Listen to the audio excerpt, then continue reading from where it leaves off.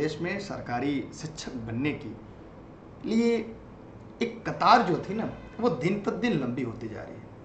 और इस लंबी होती कतार में जो कल के होने वाले शिक्षकों शिक्षिकाएँ थी, वो अवसादग्रस्त होते जा रहे हैं।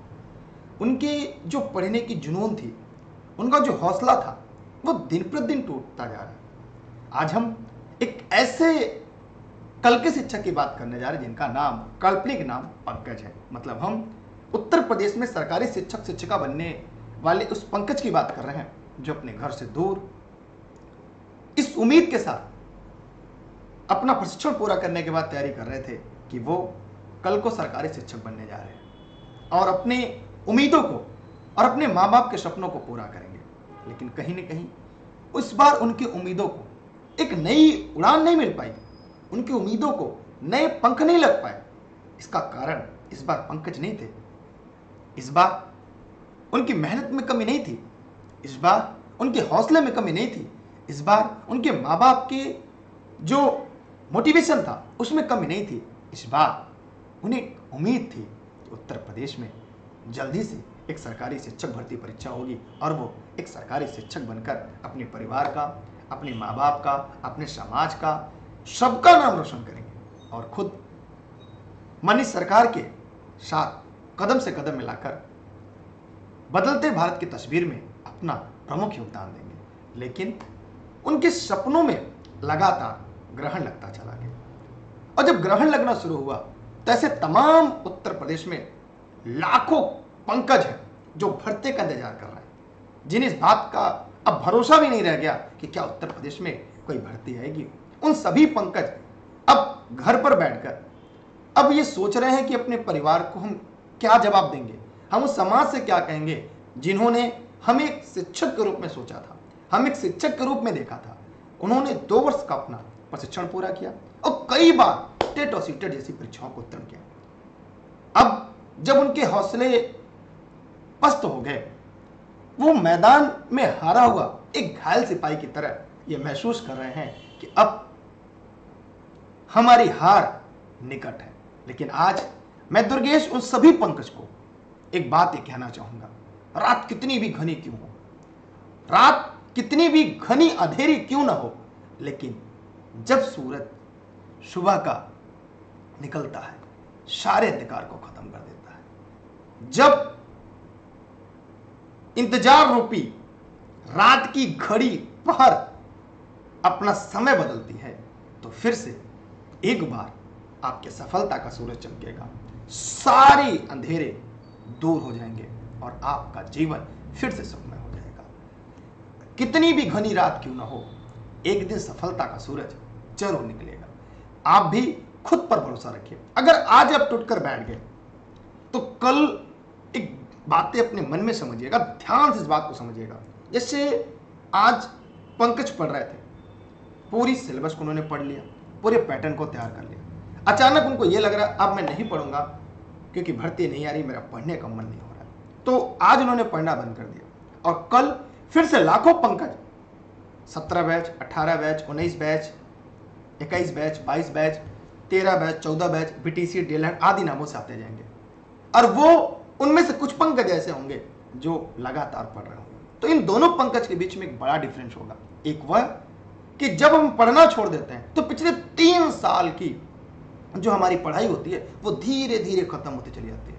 लेकिन जब दोबारा हम आज के छह महीने के बाद शुरू करेंगे, इस बार शुरुआत शिखर से नहीं, इस बार शुरुआत फिर से ज़ीरो से होगी। क्योंकि छह महीने के गैप के बाद हम पिछड़ा जो था, वो तो भूल गए, और जो नया अर्जन करना था, वो भी मेरा छोड़ गया। लेकिन एक तरफ़ जो दूसरा पंकज था, जो आधुनिक पंकज था, जो पंकज टू था, वो उस कछुए की तरह दिन प्रतिदिन डेली पढ़ता जा रहा है, पढ़ता जा रहा है। वो रिवीजन में है, वो प्रैक्टिस में है। और जब दोनों पंकज परीक्षा रूपी युद्ध के मैदान में उतरते हैं तो जीत विजयश्री उस पंकज की होती है, जिसने अपना बेहतर दिया है, जिसने अपना बेस्ट दिया है, जितने नित्य प्रतिदिन अपना एक एक करके और दुनिया में अगर इतिहास की बात करें, इतिहास हमेशा उन्हीं का लिखा जाता है, जो संघर्ष करके लिखते हैं। बिना संघर्ष करने वालों का इतिहास भी अपने पन्नों में जगह नहीं देती। जहाँ पे हम और आप एक मध्यम वर्गीय परिवार से हैं, हमारे परिवार का जो सपना है, वो हमारी मेहनत, वो हमारे जज्बे, वो हमारे जुनून से ही बना है।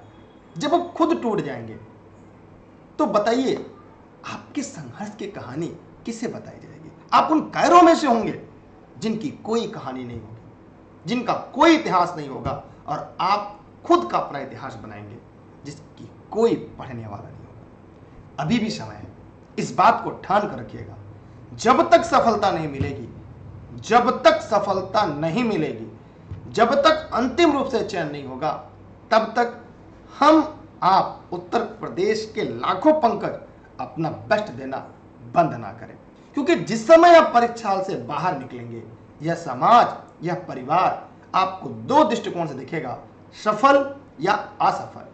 उस समय अगर आप असफल होते हैं तो इस समाज को यह कतई नहीं सुनने में आएगा कि पेपर कठिन था, गणित कठिन आई थी, अंग्रेज़ी के सवाल नहीं आ रहे थे, गोला आपने गलत भर दिया, और एम में कमी रह गई। आपने रिवीजन करने का टाइम नहीं मिला, आपको दोहराने का टाइम नहीं मिला, आपको नेतागिरी करने का समय मिल गया।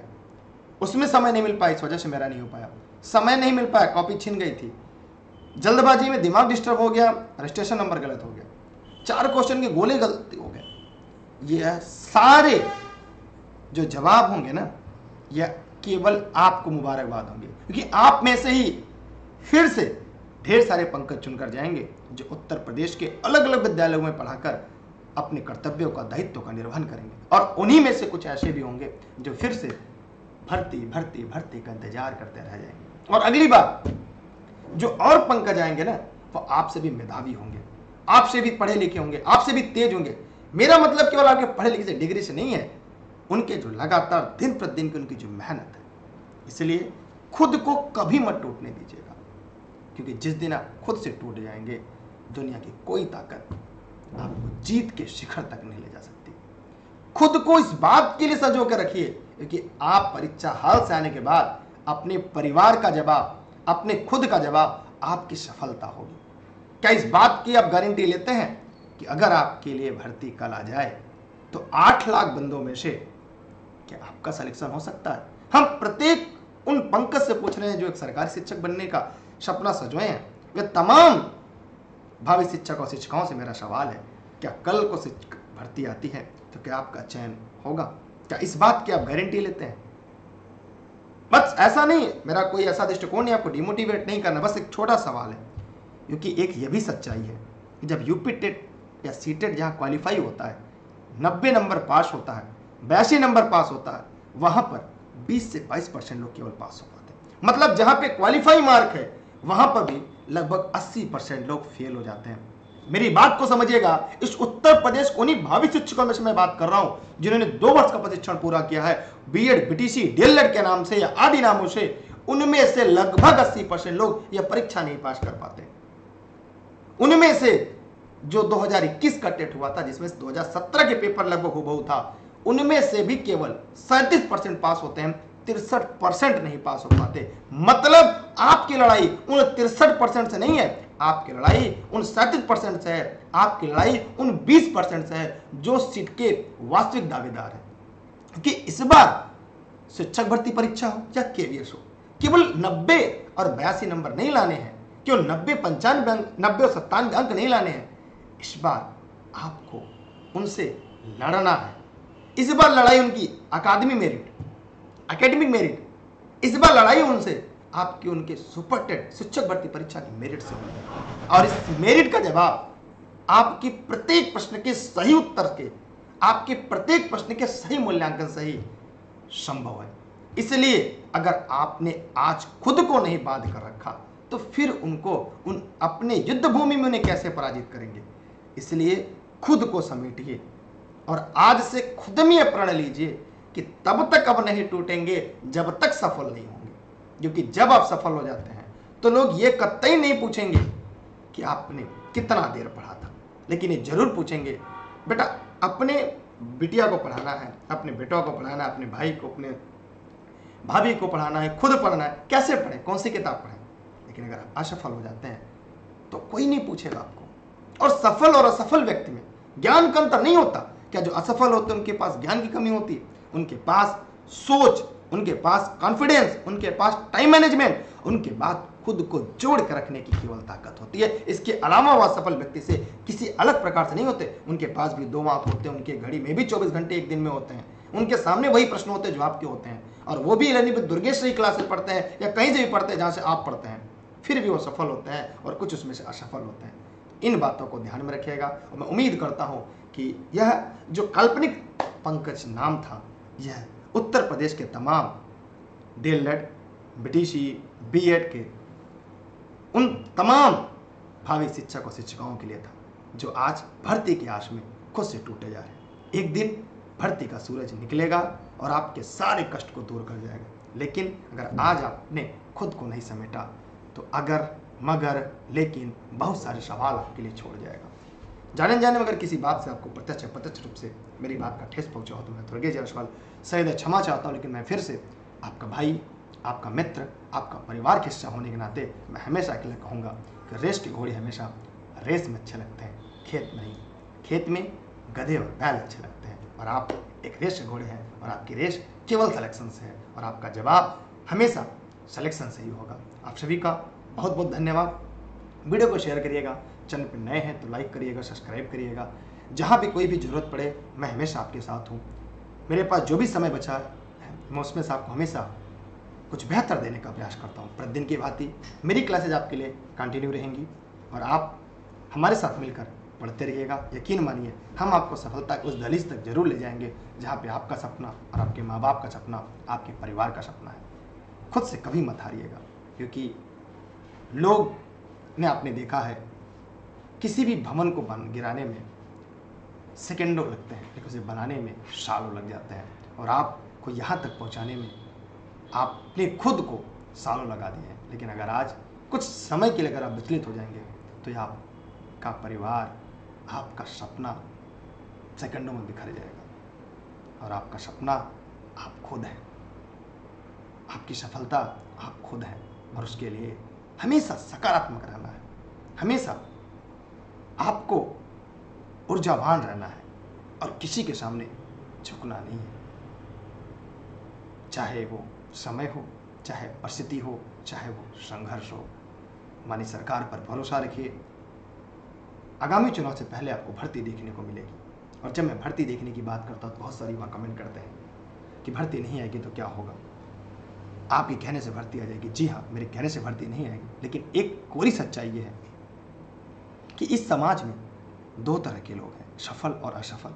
सफल लोगों की संख्या हमेशा कम रहती है। अपने गाँव में देख लीजिए, अगर गाँव में अगर आपकी 500 आबादी होगी तो उसमें 10 20 लोग ही होंगे जो सरकारी नौकरी करते होंगे। बाकी, क्योंकि हमारा समाज नौकरी, सरकारी नौकरी पेशा को ही सफल मानता है। तो अगर उस दृष्टिकोण से अगर हम देखें और आप देखें तो हमें यार आपको ये भरोसा होता है कि कहीं ना कहीं वास्तव में मेहनत में कमी है। हमारे साथ लाखों युवा दौड़ रहे हैं इस रेस में, लेकिन उसमें कुछ ऐसे हैं जो केवल क्वालिफाई अंक भी नहीं पार कर पाएँगे। कुछ ऐसे भी हैं जो उस अंक क्वालिफाइंग से काफ़ी ऊपर जाएँगे, ऊंचाई तक जाएँगे। और हमारी लड़ाई उनसे है जो क्वालिफाई अंग से काफ़ी ऊंचाई पर जाएँगे, काफ़ी ऊपर तक जाएँगे। तो मैं उम्मीद करता हूँ, मैं ये भरोसा करता हूँ कि आप खुद को, खुद से जोड़ कर रखेंगे और अगली बार आप सफल होकर हमसे ज़रूर मिलेंगे। हम आपका इंतज़ार करेंगे। मुझे आप पर पूरा भरोसा है। आप सभी पर पूरा भरोसा है कि आप अपने माँ बाप अपने परिवार, अपने गुरुजन, अपने अभिभावक का सपना ज़रूर पूरा करेंगे। क्योंकि आपका सफलता ही उनके सारे सवालों के और आपके सारे सवालों का जवाब है। इस समाज के सारे सवालों का जवाब केवल आपकी सफलता है। अगर आप नहीं सफल होकर घर जाएँगे तो यह समाज, यह परिवार आपको देखने का जो दृष्टिकोण है, जो नज़रिया है, वह आपके प्रति नहीं, आने वाले उन तमाम पीढ़ियों के लिए होगा। एक कहीं ना कहीं पत्थर की वो लकीर होगी कि फलाने की बेटिया, फलाने की बेटवा दो साल से, तीन साल से, चार साल से पढ़ रहा है, तैयारी कर रहा है, उसका कुछ नहीं हुआ। तुम्हें किस से B Ed B T C कराएँ? जाने दो, तुम घर का काम सिलाई तुरपाई सीख लो, गाड़ी बनाना सीख लो, पंचर बनाना सीख लो। तो इस दृष्टिकोण को बदलना है, मेरा देश बदल रहा है, हम सबको बदलना होगा, हमारी सोच को बदलना होगा कि हम और आप कल के भारत के वह न्यू निर्माता हैं जिनसे हम इस दुनिया के सामने भारत को फिर से विश्व गुरु बनाना है। आप सभी का बहुत बहुत धन्यवाद। वीडियो को शेयर करिएगा, निराश मत होइएगा, क्योंकि आपकी एक छोटी सी आशा की किरण इस जीत की बिगुल बजा देगी। और हमेशा एक अच्छा खिलाड़ी एक अच्छा खिलाड़ी वही है जो निरंतर अभ्यास करता हो। चाहे वो ओलंपिक का खिलाड़ी हो, क्रिकेट खिलाड़ी हो, बैडमिंटन, किसी भी खेल खिलाड़ी हो, उसके लिए अभ्यास निरंतर ज़रूरी है। और वो ये नहीं सोचता कि टूर्नामेंट कब होगा। वो यह सोचता है कि मेरी अभ्यास में कोई कमी ना रहे, क्योंकि जब भी मुझे मौका मिले, अगर मेरे प्रदर्शन में कोई कमी होगी तो मुझे टीम से बाहर कर दिया जाएगा। यह आपकी सफलता से उसका सीधा मतलब है अगर आपके अभ्यास में जरा से कमी रह जाएगी तो आप अपने टूर्नामेंट रूपी सफलता से बाहर हो जाएँगे। लेकिन मैं चाहूँगा, आप सफल हो, आपके अंदर वो काबिलियत है, आपके अंदर जुनून है, आपके अंदर वो क्षमता है, आप करके दिखाएँगे। मुझे आप सभी पंकज पर भरोसा है, मुझे आप सभी कल के शिक्षकों पर भरोसा है। फिर से आप सभी का आभार। वीडियो को शेयर करिएगा। अगर इस वीडियो को फेसबुक पे देख रहे हैं लर्निंग दुर्गेश तो शेयर करिएगा। Instagram Twitter YouTube e learning Durgesh. साथ ही साथ टेलीग्राम पर आप दुर्गेश सर सर्च करके ई विद दुर्गेश से जुड़िएगा, जहाँ मेरे सभी क्लास के लिंक, वीडियो सब कुछ आपको मिलती रहेगी। हमेशा मेरी क्लास आपको निःशुल्क देश हित में, राष्ट्र हित में मिलती रहेगी, क्योंकि आपको भी देश निर्माता बनना है। इस देश की नींव मज़बूत करने वाला वह बनना है, जिसका सपना आपका, खुद का सपना है। जय हिंद, जय भारत। क्या आप भी सरकारी शिक्षक बनने की तैयारी कर रहे हैं? क्या आप भी अब की बार टेट पार करने की तैयारी कर रहे हैं? चाहे कोई भी हो परीक्षा अब TET, C TET, REET, M P TET आदि सभी राज्यों की परीक्षा के सिलेबस के आधार पर हम आपके लिए लाए हैं सारे विषयों की महत्वपूर्ण नोट्स स्टेट एनसीईआरटी और प्रीवियस ईयर के पेपर के आधार पर डिज़ाइन किए गए हैं ताकि इस बार आपका सरकारी शिक्षक या शिक्षिका बनने का सपना साकार हो जाए अब की बार टेट पार सुपर टेट केवीएस और रीट मेंस एग्ज़ाम के नोट्स भी उपलब्ध हैं। ऑनलाइन क्लासेस में practice sheets, model paper online live और रिकॉर्डेड सेशन और पीडीएफ नोट्स भी अवेलेबल हैं। ई लर्निंग विद दुर्गेश का ऐप प्ले स्टोर से डाउनलोड करें अधिक जानकारी के लिए कॉल करें six three zero six three four four three six seven seven three five five one seven nine zero one two या seven three nine eight eight eight three zero zero two पर। Address Jaunpur UP क्या आप भी sir